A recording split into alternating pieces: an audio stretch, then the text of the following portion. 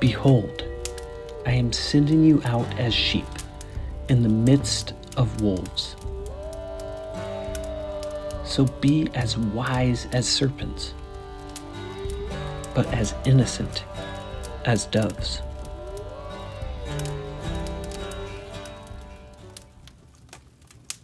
This hunt takes place on the fourth day of our fly out Alaskan caribou hunt. On the first episode, Pops and I get flown into remote Alaska. We hike from our river bottom camp up into the mountains and now are hunting caribou and sheep country. I had one goal on this trip, and that was to take a caribou with my bow. Make sure you check out part one by clicking on the link above and subscribe to our channel.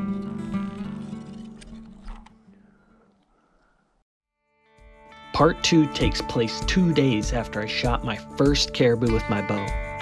We made it back to Spike Camp, and for the first time, the whole hunt, we weren't seeing any caribou.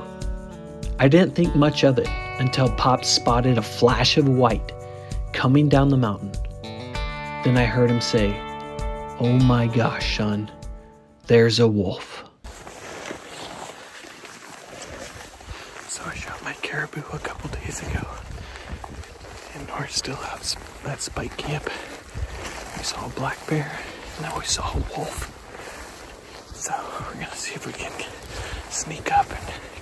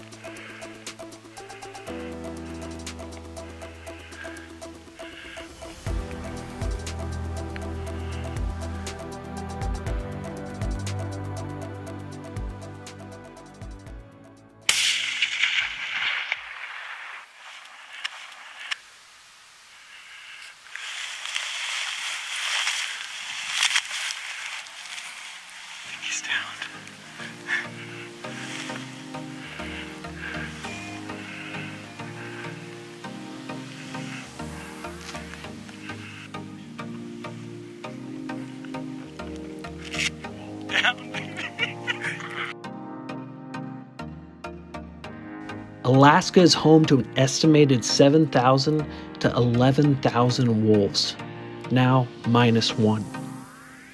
Wolves have never been threatened or endangered in Alaska. The key to a healthy game population, whether that's big or small, depends on a proper balance between predators and prey. A wolf sighting is rare, and having the opportunity to harvest one is a dream come true, saving a few caribou and moose while I was at it.